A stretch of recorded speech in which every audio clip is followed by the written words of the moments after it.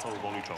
Strana vlast Štefana Harabina má 1% a celé 9 desatín%, Most Híd len o máci výsledok, KDS spolu majú Kotlebovci 6,5%. Smerodina Borisa Kolára dosiahla podobné číslo, ako jej rovnodobo predchodného prieskumia. Dobre nad ráno vám všetkým prajem. Myslím si, že v tomto čase, kedy je už e, spočítaných viac ako 90 hlasov, môžeme z tohto miesta konštatovať, že áno, voľby sme vyhrali. Po 12 rokoch sme pokorili vládu Smeru.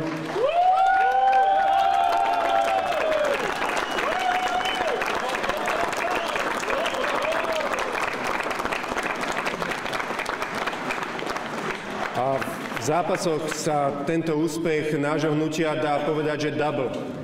Mali sme snahu poraziť mafiu, ktorou reprezentuje strana Smera a mali sme snahu poraziť Mariana Kotlebu a pokúsiť sa mu zobrať čo najviac voličov.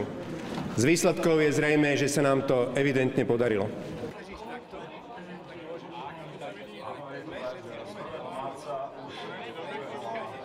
Sebastian! Ty si pil? Ty si ožratý! Ty si ožratý! Ty ožratý!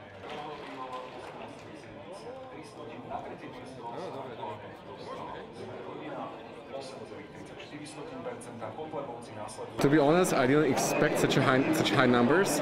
I think it's a great day for Slovakia because it's like Slovakia has woken up, and it's like a revolution from 1989 all over again. Because we had a government full of corruption, full of organized crime, I can say, and now it looks like after a long, long time we're gonna have a decent government, decent anti-corruption government, which is great.